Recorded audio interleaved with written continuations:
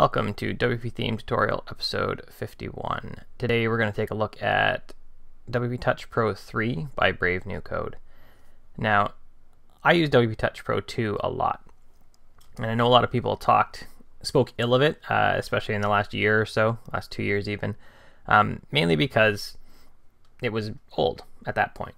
Um, the themes are old. A lot of people use the stock theme, but that's going to happen in anything. How many times do you see the WordPress 2013 or 2012 or 2010 themes? I see them all the time. Um, what I used WP Touch Pro 2 for was a mobile detection engine. I didn't really use any of the stock themes. I actually had my own stock theme that I started with because I found both the other two heavy, um, and I started, yeah, from scratch on my own. The benefit to doing that as a mobile detection engine was that I could serve up proper image size uh, to users, whereas in responsive you don't. So if we take a look at the main site here, and I recorded this once, and unfortunately my mic wasn't on, so we'll refresh here. You can see I've also got this uh, responsive standard theme. So and this all looks good. Um, I'm quite happy with the responsive theme here. But what it doesn't give us is when we get down to an image. This is a thumbnail. What we're actually seeing here is this image uh, in the iOS and this image in my browser are the same size. It's just scaled down for iOS. That means I'm serving large images to iOS, which it doesn't need, and I don't like that.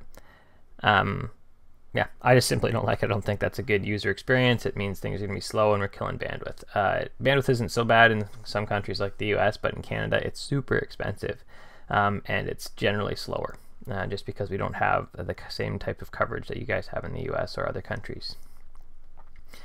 So what WP Touch Pro 2 allowed me to do was serve proper sized images. Now, WP Touch through Pro 3 was written again from the ground up. It is a mobile detection engine. That's really what it is.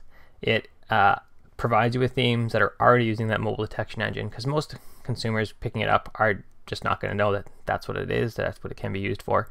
And um, they want a theme. They just want to see this puts a theme on my site. That's it. So for WP Touch Pro 3, we have a great new developer's guide. Um, they've actually broken a lot of it up into modules. So if you want Font Awesome as the example right on the cover of the developer guide, then you'd enable the Font Awesome module. If you want to Google Fonts, you'd enable the Google Fonts module. Uh, menus, custom post types, all that stuff. So what we are going to do to start with here is activate WP Touch Pro 3 I've installed it, I've played with it, and then I reset it. And that's all I've done so far. And today we're just going to look at the stock theme. We're going to make some customizations for it uh, so that it looks proper.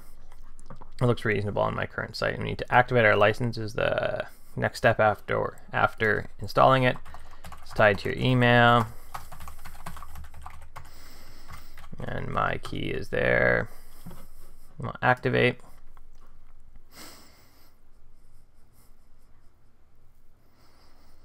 And boom, we're done. So now, this is what we have. That page will be hidden now, so we won't actually see the licensing activation. This is the dashboard uh, for WP Touch Pro. You can see up here we have notifications. I have no notifications right now. When it's not activated, you'd actually have a notification up there saying, hey, this isn't activated. Um, we have quick links to our knowledge base or support, uh, product updates, and to our own profile on the BNC or Brave New Code site. But what we're going to jump into here is the theme options. If I refresh, there's a few things I don't like about this starting out for my site.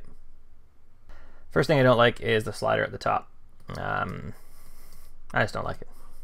I don't think sliders are spectacular in general, and I don't want one on my mobile site, especially when we'll save the changes. So that's all I did was disable it. It's pretty simple. Click of a button, There we go. We don't have them. I also pointed out earlier that we didn't see um, small thumbnails. You can see we're serving up a proper small thumbnail now, which is excellent. Another thing I'm uh, I need to do is I need to run a custom menu. Uh, you can see I've imported my content a few times. So I've got checkout, two double checkout pages, double transaction failed pages, which is for easy digital downloads. Uh, I've got my plugins. I got two purchase confirmation pages. I don't want that. What I actually have set up is a custom menu in WordPress.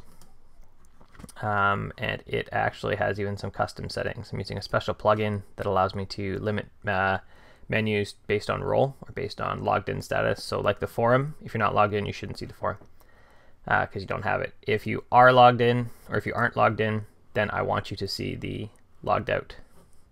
And I want you to see the login link. So to do that, I need to go to the menus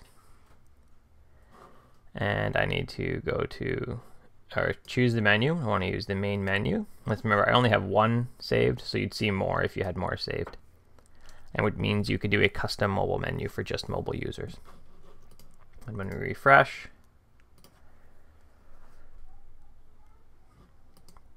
we now have our custom one. Since I'm signed in on this, you can see I see the forums. I don't see the WordPress uh, admin bar, which is great because it's actually totally useless on a mobile device. You can't see half of it and you don't even know what you're clicking on. Uh, the next thing we can start to do is we can, so we're editing our header menu because that's the only custom menu I have, but we can start to add icons. So I've installed two already. I have Addicted Flavor and Elegant. And you install a new one. Let's install hmm, Glossy e-commerce for fun. So the time it takes here will vary depending on your bandwidth and the servers and all that stuff. But now I have another icon set. And I can now do glossy e-commerce if I wanted, which I don't. I've never looked at these before, but I don't really like them. Uh, eh, maybe for the cart. Eh, there might be one or two in there that are not too bad. But let's go to Elegant. These are the ones that I actually practiced the screencast with. So we could do home to assign a home icon. Uh, for the forum, let's do double people. For your profile, let's do a blue person. For purchase history, I'm going to use the uh, the list graph. And I said there's not really a great store one. Let's save that anyways. Refresh. Still refreshing. Now I got home, store, purchase history. That's great. And let's go. We have addicted flavor is the one that are, is up already. So let's go. And there were some good RS. There's an RSS icon in here and a podcast. So podcast. And we'll use RSS circle. And why don't we do, is there a logged in one? Look at Super Mario Brothers. Oh, that's cool. Why not? I'm to use Super Mario Brothers for fun. There you go, log in, Super Mario Brothers. Alright, so I've got a bunch here. Um, obviously, I don't have some anything for my contact page yet, but I could do address book. That'd be fine. Uh, and then for my plugins pages. So we've done some basic setup here for WP Pro 3. Um, some of the other things that we could look at is my theme has um, custom post types because it has a bbPress forum on it. And you can see right here, forums, topics, replies. Now there, or we can do that by enabling forum and then we should enable download. This is setting it up so that our templates are going to recognize this. I don't need to do EDD log because I don't want users to see that. That's an internal logging for easy digital downloads or payment or discount or themes. Uh, themes is just something that's left over on my site from long ago when I thought I would build everything myself. So now, I actually haven't tested this. Let's go visit our store though. So we're starting to see some support here. So this is something that I will need to do. Um, I'll have to add in full support for this for the store for products because you should see a product under store.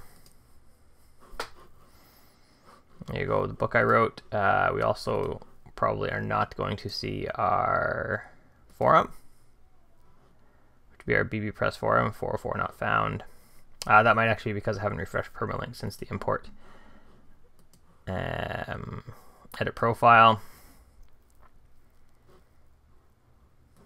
So I have no payment gateway even for easy digital downloads, so that might even be my issue.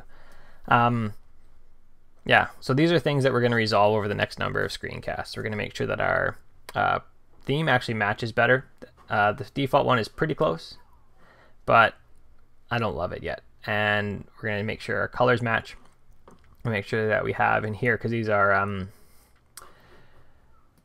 post formats. So we're going to add some post format support. So caching in WordPress, I probably want a little chain link there. I want to have a little thumb of my video there somehow for these ones. I got three videos in a row in this case. Uh, I'm just going to customize this more for my site. But that's the basic intro to WP Touch Pro 3. Thanks for watching.